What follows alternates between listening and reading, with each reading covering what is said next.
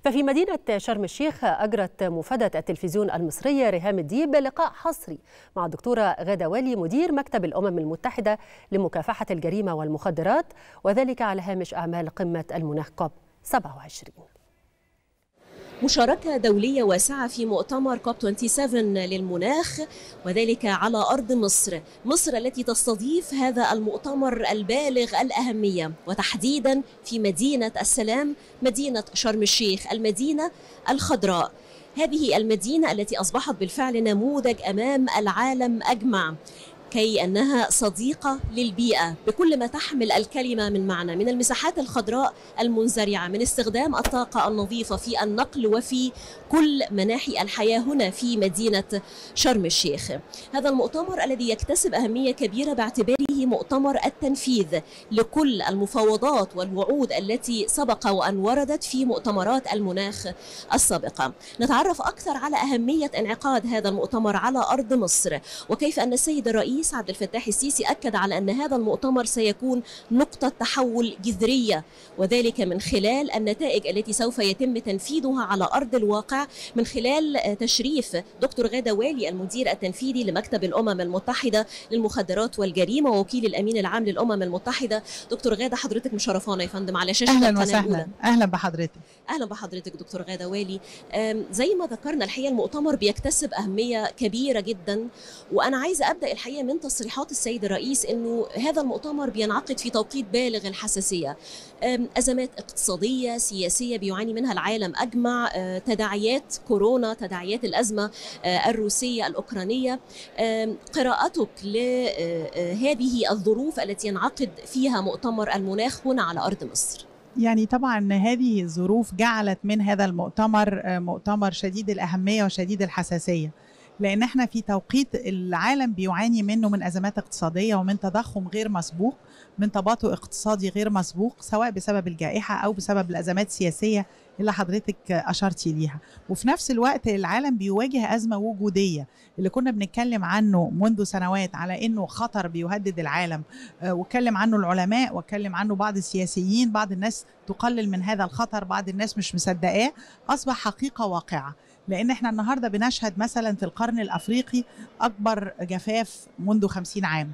بنشهد في باكستان تلت البلد بلد ضخمة زي باكستان تلتها متغطي بمياه الفيضانات والسيول. شايفين نيجيريا بتعاني من فيضانات وسيول. شايفين مخاطر ارتفاع سطح البحر على الشواطئ ومخاطر اختفاء بعض الجزر تختفي تماما تحت مياه سطح البحر. أوروبا بتواجه جفاف وارتفاع في درجات الحرارة لم تراها منذ عقود. وبالتالي أصبحت أزمة المناخ أزمة وجودية بتهدد وجود البشر على الكرة الأرضية صحيح. وبتهدد الناس في أرزاقهم. صحيح. أدت إلى نزوح جماعي. يعني أفريقيا بتشهد نزوح وتحرك لأكثر من 700 مليون مواطن أفريقي بعدا عن جفاف. مفيش أماكن للرعي أو فيضانات سيول. مفيش برضو أماكن لكسب العيش. صحيح. ارتباطا باللي حضرتك ذكرتيه الحقيقة السيد الرئيس النهارده على ال social media يعني مواقع التواصل الاجتماعي ذكر إنه العالم بيواجه مخاطر كثيرة جدا. مخاطر بت يعني بتستلزم إنه إحنا لابد أن نتحرك بمنتهى السرعة لتنفيذ خارطة طريق وضع خارطة طريق وتنفيذها من أجل إنقاذ البشرية والعالم أجمع. من وجهة نظرك دكتور غادة يعني ما هي أبرز ملامح خارطة الطريق؟ هل إلزام الدول المتسببة في هذه الانبعاثات الضارة وهذا التلوث البيئي المتسبب في الآثار طبعا السلبية لتغير المناخ بالوعود التي التزمت بها من قبل أم ما هي الآليات من أجل إنفاذ خارطة طريق لإنقاذ العالم بالكامل؟ شوفي الدول الأطراف في الاتفاقيات هي دول بتوقيعها على هذه الاتفاقيات وبموافقتها على أجندة المؤتمر وموافقتها على الإعلان النهائي للمؤتمر اللي هيصدر عن المؤتمر بتتضمن هذه الإعلانات التزامات. آه هذه الالتزامات آه بتتكتب بشكل بحيث بيدي مساحة للتحرك للدول.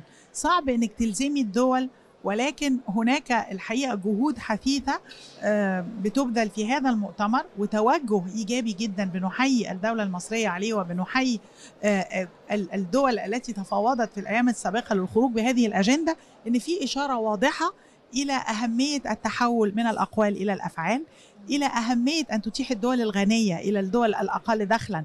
التمويل اللازم للتحول إلى الاقتصاد المستدام والاقتصاد الدائري السيركولر ايكونومي فكرة التخفيف من المخاطر فكرة الحد من الآثار المناخية. لابد أن تتحول فاتورة هذه التحولات الدول الأكثر حظا الدول الصناعية التي حققت التنمية وكان لها نصيب الأكبر في التسبب في هذه المشكلة صحيح. ولكن في دول أخرى في أفريقيا مثلا وخليني أقول لك أن أفريقيا من الدول التي كانت مساهمتها هي الأقل في مسألة التلوث ولكنها تضرراً. الأكثر تضررا صحيح. هنا أتصور أن السيد الرئيس بيشير إلى أهمية التمويل إتاحة تمويل رخيص إتاحة تمويل مناسب إتاحة تمويل من خلال المؤسسات الدولية من خلال البنوك الخاصة مؤسسات التمويل العامة والخاصة إلى الدول حتى تتحول إلى الطاقة النظيفة تتحول إلى جهود التخفيف وجهود التعامل مع الآثار دي. المهم جدا كمان إنه مش بس التمويل ولكن أيضا التكنولوجيا. إتاحة التكنولوجيا بأسعار مناسبة حتى تستطيع الدول الأفريقية والدول النامية والاقتصاديات الناشئة اللي بتعاني أيضا من الأزمة الاقتصادية أن تتحول إلى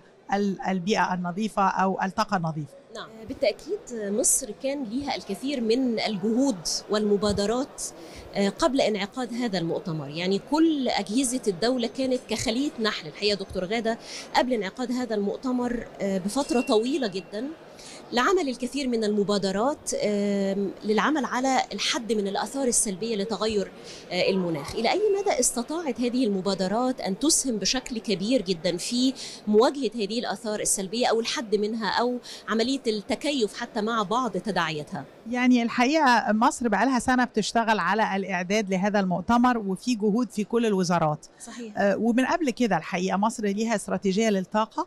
هذه الاستراتيجية فيها مكون مهم بيعتمد على الطاقة النظيفة وعلى الطاقة الشمسية وكلنا شاهدنا محطة بنبان اللي أقيمت في أسوان وهي أكبر محطة ل يعني إتاحة الطاقة الشمسية في العالم.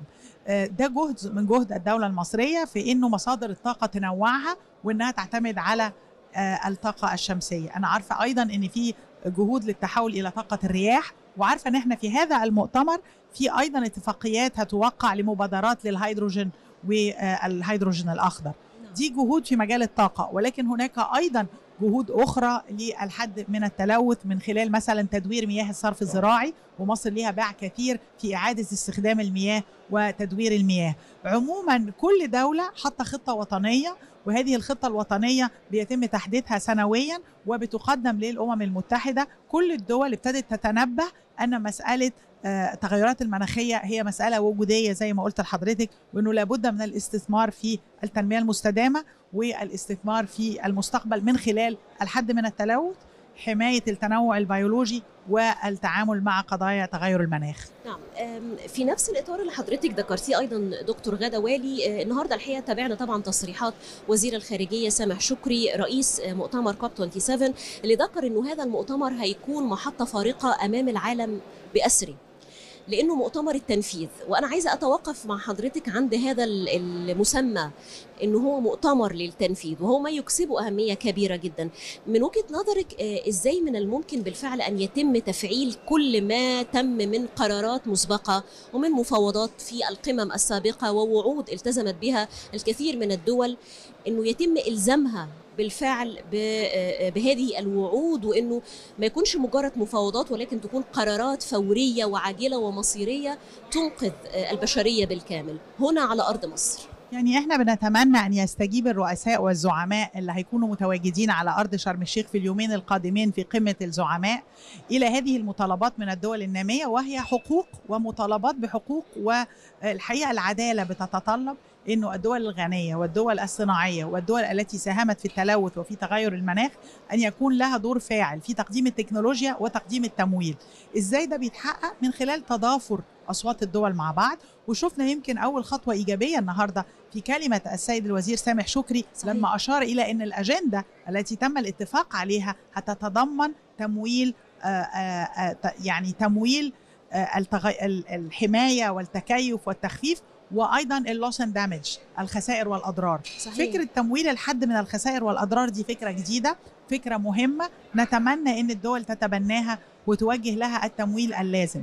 بداية المشكلة بتكون أو بداية الحل لأي مشكلة بيكون من خلال إيجاد وعي على مستوى المجتمع وعلى مستوى العالم. هنا بنشوف العالم كله في شرم الشيخ بنشوف دول العالم بتجتمع في مصر بنشوف 165 دولة بنشوف 3000 جمعية أهلية بيمثلها 10000 مشارك.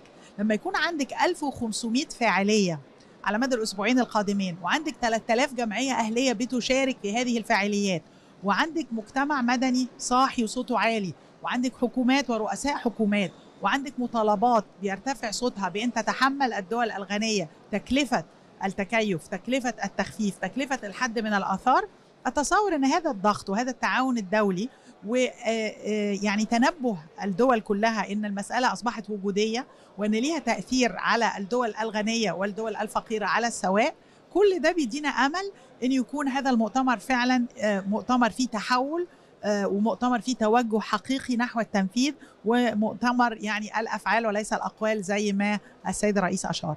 صحيح. دكتور غادة سيادتك يا فندم المدير التنفيذي لمكتب الأمم المتحدة المخدرات والجريمة وكيل الأمين العام للأمم المتحدة. مساهمة المكتب الأمم المتحدة للمخدرات والجريمة في هذا المؤتمر. ومدى اهتمامه بقضايا البيئة والحد من التلوث البيئي طبعا بشكل أساسي. أنا أدخلت ثلاث قضايا مهمة جدا وبركز عليها في المرحلة القادمة كجزء من استراتيجية جديدة للمكتب. ثلاث قضايا دي عبارة عن الجرائم ضد البيئة التي تؤثر على المناخ والبيئة والتنوع البيولوجي الجرائم التي تتصل بتهريب الآثار والموجودات الثقافية والجرائم السبرانية الجرائم اللي على الإنترنت. دول ثلاث موضوعات إحنا بنتوسع فيهم في مكتبنا. ومن هنا جاءت مشاركتنا في هذا المؤتمر لأول مرة بشكل مكثف. كنا بنحضر المؤتمرات السابقة لكن المرة دي إحنا بنقود فعاليات مهمة.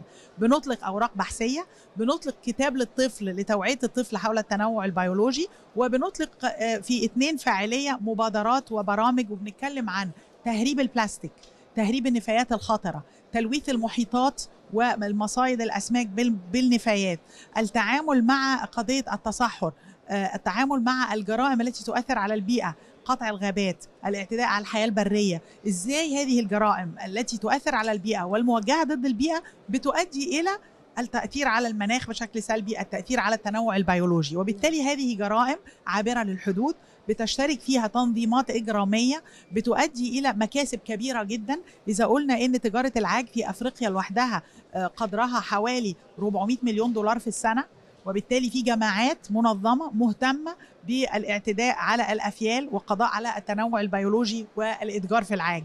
فدي جريمة بتتم في أفريقيا بيتم نقلها عابرة للحدود وبالتالي في فساد عابر للحدود وأيضا بيتم استقبالها في دول مستقبلة لهذه الممنوعات. أصبحت جريمة منظمة وجريمة عابرة للحدود. نعم. دكتور غدا والي يعني ختامي طبعا يعني في حواري مع حضرتك تتوقعي من هذا المؤتمر اللي بيشهد زخم ليس فقط محليا ولكن زخم دولي واسع النطاق على جميع المستويات يعني حتى على المستوى الحكومي وعلى المستوى حتى منظمات المجتمع المدني والقطاع الخاص. على جميع المستويات وحتى من خلال المشاركة الدولية واسعة المدى الحقيقة في هذا المؤتمر المتوقع من وجهة نظرك قرارات فاعلة ملزمة للدول التي لم تنفذ وعودها من قبل أم ما هي التوقعات الخاصة بحضرتك فيما يتعلق. بنتائج هذا هناك نتائج كثيرة متوقعة. هناك نتائج على المستوى الوطني. هناك نتائج نقدر نشوفها من قبل ما المؤتمر يبتدي. أنا شايفة استثمار كبير في البنية التحتية في شرم الشيخ. هذا الاستثمار ممتد ما بعد المؤتمر. آه هيكون في توعية بقضايا البيئة والمناخ بحكم أن المؤتمر بيحصل في مصر للمجتمع المصري وللعالم كله. يعني موضوع المناخ والتكيف والأثر على البيئة هو موضوع الساعة لمدة أسبوعين. كل وكالات الأنباء بتغطيه. ففي في زيادة في الوعي العام. في شعور بالمسؤولية ناحية الكرة الأرضية وناحية الحقيقة قضايا المناخ. فزيادة الوعي قضية مهمة الاستثمار في البنية التحتية البنيه التكنولوجيه علشان ال live streaming اللي حاصل علشان الدول دي كلها تتواجد هنا. طبعا في تأكيد لقدرات مصر التنظيمية الكبيرة لتنظيم هذا الحدث العالمي قدراتنا على تأمين هذا الحدث العالمي قدراتنا على إن إحنا نؤهل البنية التحتية لاستقبال المزيد من المؤتمرات. دي كلها نتائج إيجابية هتتحقق ولكن النتائج الأهم والأكبر هي طبعا القرارات اللي هتطلع في إعلان شرم الشيخ أو إعلان الكوب 27 اللي المفروض يجي السكرتير العام في آخر المؤتمر يعني هو بكرة هيفتتح المؤتمر ولكن هيرجع تاني في آخر المؤتمر للإعلان اللي هتتوافق عليه الدول.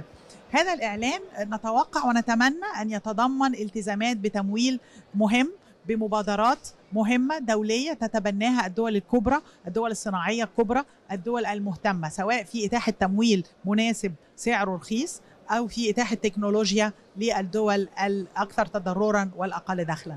أشكر حضرتك شكرا جزيلا شرفتينا على شاشة التلفزيون المصري وأشكرك. شكرا لحضرتك. ومشاهدينا ما زلنا معكم لحظة لحظة في متابعة لكل ما يتعلق بفعاليات مؤتمر تغير المناخ كوب 27 والذي تستضيفه مدينة شرم الشيخ هنا على أرض مصر والذي يشهد مشاركة دولية واسعة النطاق في هذا المؤتمر الذي يعرف بمؤتمر التنفيذ.